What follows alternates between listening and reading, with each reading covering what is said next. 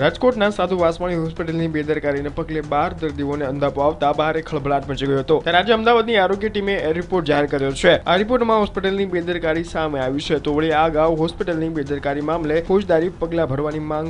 નગર police સ્ટેશનમાં કરવામાં આવી રહી છે આરોગ્ય વિભાગ તરફ જ્યારે અમને લેખિતમાં રિપોર્ટ મળશે તો એ રિપોર્ટનો અભ્યાસ કરી ગુનો દાખલ કરી આગળની તપાસ કરશું હજુ સુધી અમને કોઈ એ પ્રકારનો રિપોર્ટ મળ્યો નથી એ અરજીની અમે તપાસ કરી